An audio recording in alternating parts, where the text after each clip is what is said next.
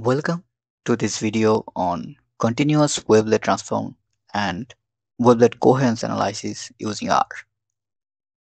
In this tutorial, we will work with temperature data from Dhaka to explore the dynamics of urban heat island effect across time and frequency. We will focus on daily temperature values taken at the 15th hour of the day and examine both the raw urban temperature and its difference from rural temperatures. First, uh, let's load the necessary packages. biwavelet uh, is for wavelet analysis and readxl to import.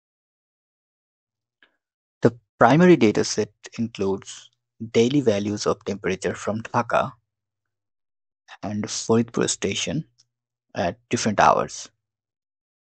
So data from the Dhaka station is considered the urban temperature and Faridpur is a proxy for the rural temperature. We calculated the differences of Dhaka and Faridpur at each hour and finally we extract the first 8036 rows from the dataset which uh, represent data from 1979 to 2000 and select the date column and the column representing UHI at 15th hour of the day. So to ensure the time series is correctly interpreted, we convert date column to date format and this allows us to use time hour plotting. So before diving into analysis, we visualize the temperature difference data. So the line plot shows the UHI in Dhaka at 15th hour over time. And this gives us an initial look at the long-term variation, seasonality, and trend in the UHI data. And it also helps us to select the mother wavelet in our analysis. So uh, we now prepare two time series data for wavelet analysis. The first one is the daily temperature data in Dhaka, which is DHK full. And the second one is the difference of urban rural temperature, which is UHIDF. So for wavelet analysis, both series are assigned a simple numeric time index from 1 to 8036, matching their daily resolution.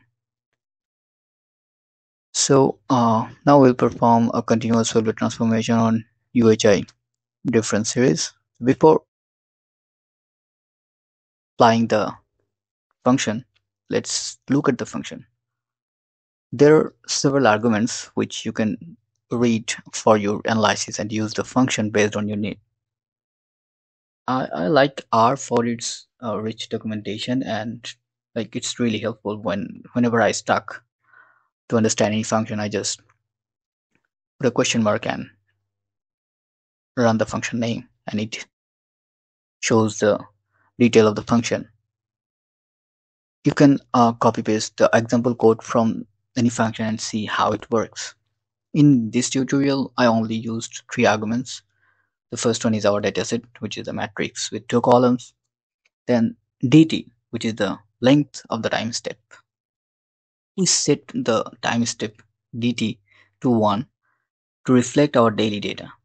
So if you use hourly data, you have 24 values per day. Therefore, dt will be 1 by 24. Then uh, we will use morlet wavelet as a mother function. Although, although this is the default uh, value of the mother function. I have also imported in in my in the function because I just want to show that uh, I have selected the morlet as mother function uh, as mother wavelet and it was selected because it is ideal for climate and environmental data. And also it, it balances between time localization and frequency resolution.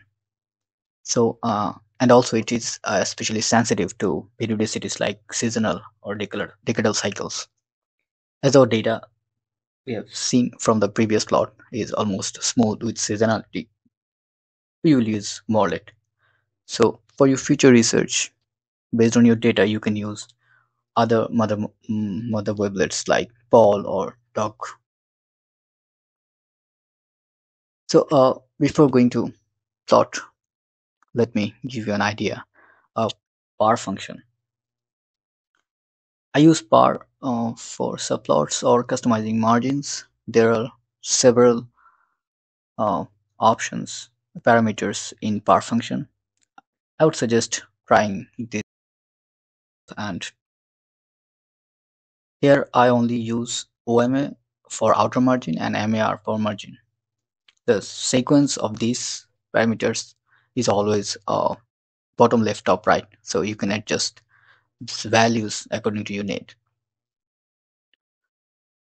Let's now take a closer look at how we plot the results of continuous wavelet transform.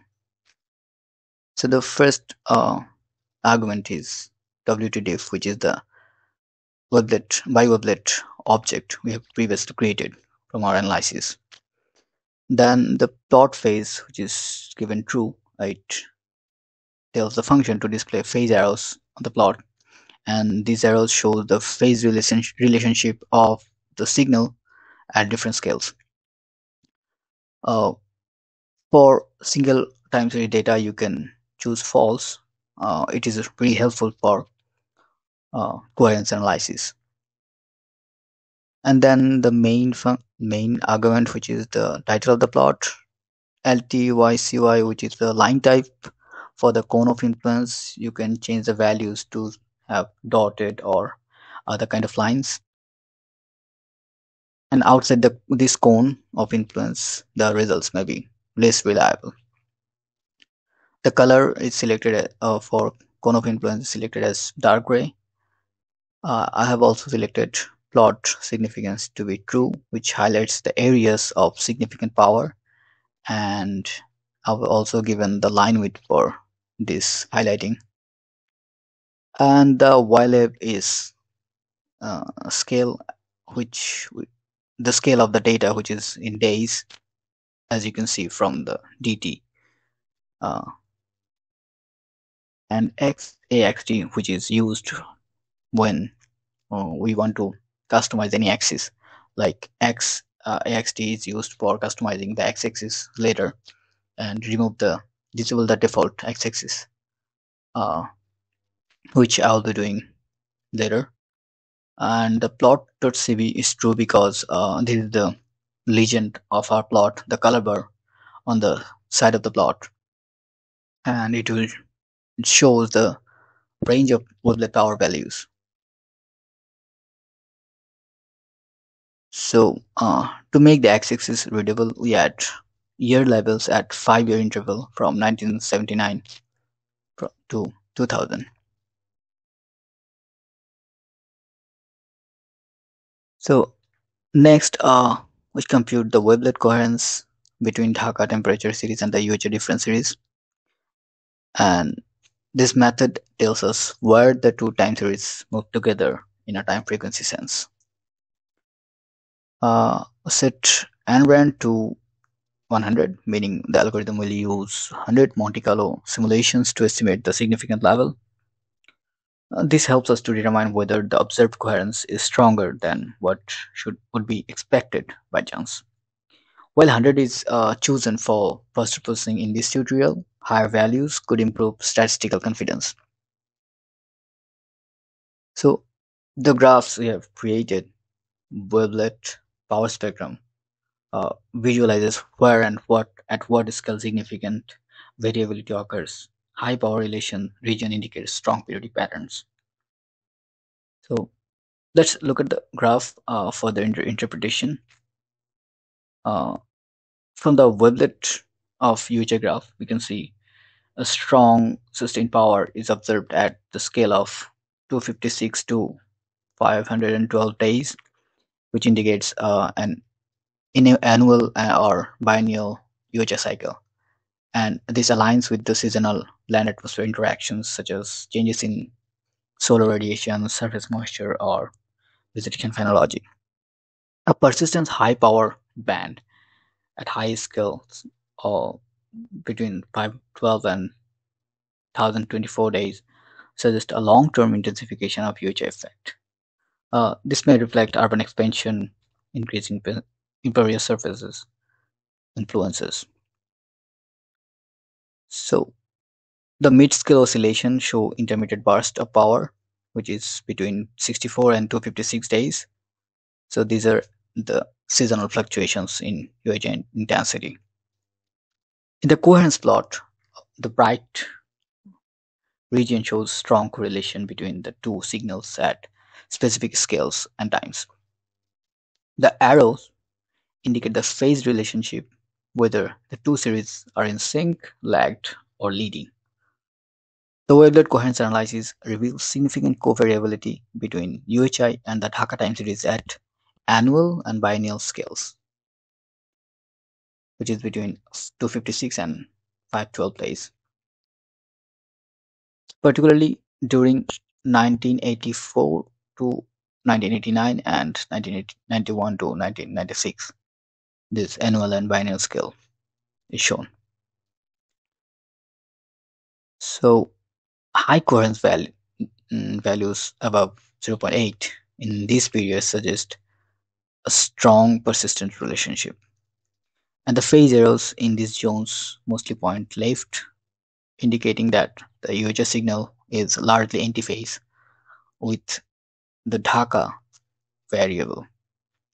And the increase in Dhaka's temperature actually causes decrease in UHI. And uh, this inversing relationship explains the UHI, high UHI in winter season.